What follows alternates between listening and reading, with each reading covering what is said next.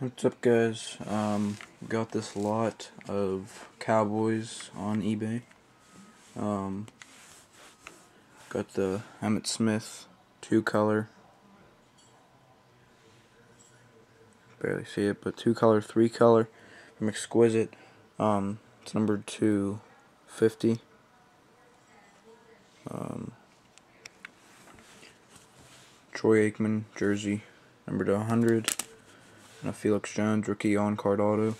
Um, these are all in one lot, um, up for auction. Starts at 99 cents, no reserve. Um, ends in five days, so uh, go place your bids. It's only at 99 cents, and it's no reserve, so um, pretty nice lot here if you like the Cowboys. Uh, I know some people who do, so um, alright, I'll have a link to it over there. Alright, peace.